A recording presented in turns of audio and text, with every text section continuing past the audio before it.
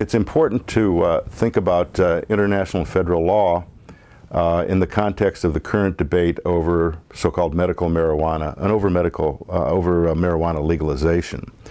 Uh, there are three international treaties. These treaties are based on one principle, which is that drugs should be used for medical and scientific purposes only, not for recreational purposes. Marijuana is considered a drug to have no medical or scientific value.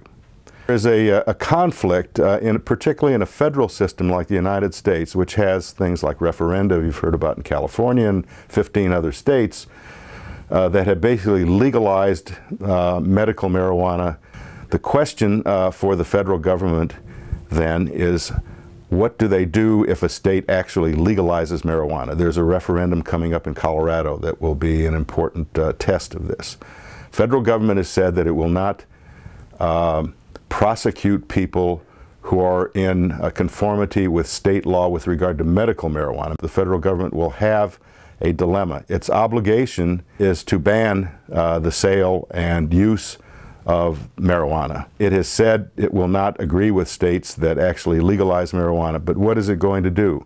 Will it go and arrest people? Will it raid shops that sell marijuana? Uh, these are this is a dilemma and a series of questions that have not been answered yet. If I were the federal government, I think in order to avoid uh, further violations of federal and international law, I would make it clear to any state that had a legalization referendum or legislative referendum and uh, that the federal government would not tolerate this and if necessary go in and target a particularly prominent place that was selling marijuana openly to anybody that came in.